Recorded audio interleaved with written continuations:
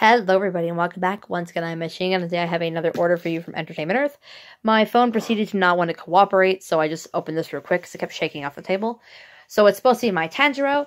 Uh, we're going to find out if it came in a nice condition, as well as if anyone has read Lore Olympus. Uh, volume 1 of the actual book did come today. So I'm going to give you guys a quick little sneak preview. If you haven't read it, it is a wonderful uh, webtoon on the app Webtoon, of course. And uh, yes, it is called Lore Olympus. It is very popular. It is absolutely beautiful, as it sounds. It's all about um, the the Greek lore with uh, with Hades and Zeus and all of them, and it's absolutely beautiful. And it goes in, it goes on about their about Persephone and Hades' relationship and stuff, and like about her as a goddess. And I love it. So I bought the first volume of her turning into books. It has a bunch of exclusive stuff in it. But uh, we'll get to what everybody wants to see, and it's the new Demon Slayer Funko Pops. So, as usual, they've started shipping them in bubble wrap. Oh. This is the common Tanjiro we're going to look at today.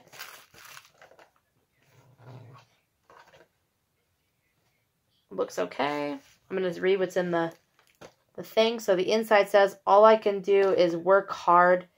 That's the story of my life is what it says on the inside.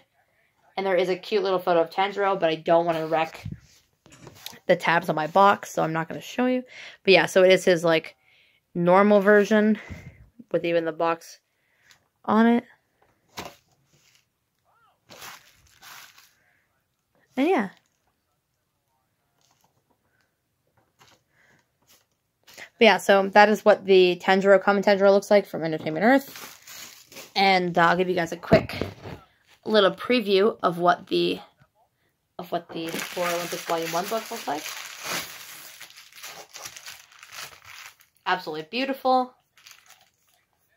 Lots of praises.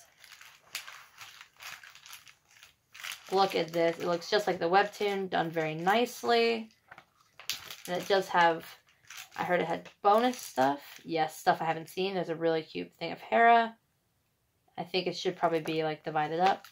I'm very excited to go through this, but yeah, so it is available on Amazon. It was available for pre-order, probably